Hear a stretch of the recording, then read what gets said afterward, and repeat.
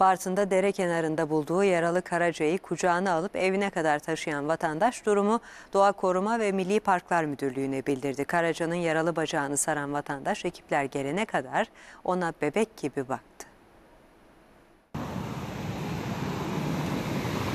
Evinde çocuk gibi baktığı Karaca'yı doğa koruma ekiplerine teslim etti. Bartın'ın Turanlar köyünde yaşayan Sami Erdoğan evinin önünde gördüğü kan izlerini takip edince dere kenarında yaralı bir Karaca ile karşılaştı. Karaca'yı kucağına alan Erdoğan evine kadar taşıdı. Yaralı bacağını sardı ve sobanın yanında ısıttı. İnşallah bakalım şu anda milli parçaları teslim edeceğiz. Gelecekler birkaç yerinde yarası var. Erdoğan doğa koruma ekipleri gelene kadar başından bir an olsun ayrılmadığı Karaca'yı bir bebek gibi besleyip sevdi. Benim oğlum benim bu, oğlum benim bu, oğlum benim. Gel oğlum, gel oğlum. Vatandaşın Karaca ile çekip paylaştığı videoysa büyük beğeni aldı.